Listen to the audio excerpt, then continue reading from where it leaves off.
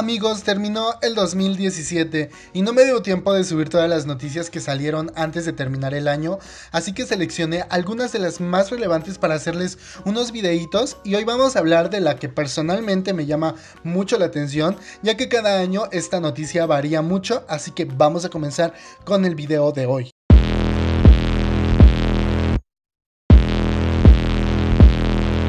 Como es costumbre, cada año se revela la lista de los 100 rostros más bellos del mundo en sus dos ediciones, femenino y masculino.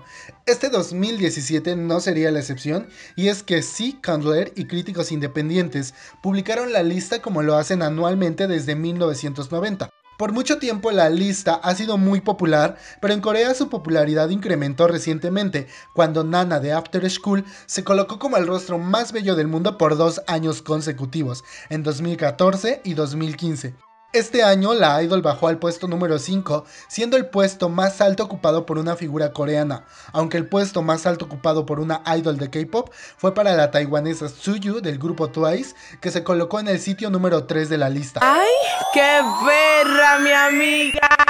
¡Qué Desde el pasado, en esta lista han aparecido grandes figuras del entretenimiento coreano, como lo son las integrantes de Girl Generation, actrices como Park Shin-hye y deportistas coreanas. Para este 2017, el orden de aparición de rostros coreanos fue el siguiente. Suyo de Twice en el número 3, en el número 5 Nana de After School, Lisa de Blackpink en el número 15, Jenny de Blackpink en el número 18, Sana de Twice en el número 21, el número 23 fue para Sulgi de Red Velvet, el número 32 para Lee Sung Kyung, la integrante de Girl Generation Taeyeon se coloca en el número 40, la cantante, modelo y actriz Susie se encuentra en el número 51, Irene de Red Velvet en el número 55, Go Ara en el número 62, la cantante cantante Jessica Young en el número 69, la actriz Park Shin-hye en el número 88 y en el número 99 Kyung Kyul de Pristin. Yo soy divina, soy una diosa. Todos los chicos se desmayan si me miran. Las feas sobran, las guapas somos una especie singular. A diferencia de la edición femenina, en la lista de rostros masculinos, sí tenemos un número uno dentro de los idols de K-pop, pues el integrante V del grupo BTS se coloca como el rostro masculino más bello del mundo al estar en el número uno de la lista. ¡Qué perra soy! Me levanto desde la mañana dando pelucazo. En la edición para 2016, el sitio más alto ocupado por un idol de K-pop y de origen coreano fue el número 2, ocupado por el integrante de Big Bang, Taeyang, quien este año cae hasta el puesto número 19.